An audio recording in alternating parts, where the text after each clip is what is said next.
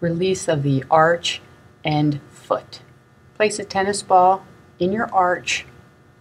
Allow the ball to release deep into your arch. Roll to the heel to get the attachment of the plantar fascia. Spend time here if you need to, or anywhere along the way where it might be tender. Let your foot collapse around the ball.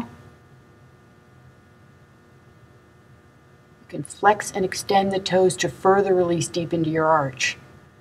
You're going to place the ball underneath the metatarsal heads. Let your foot release and relax and stretch over the ball for a good stretch of the metatarsal heads.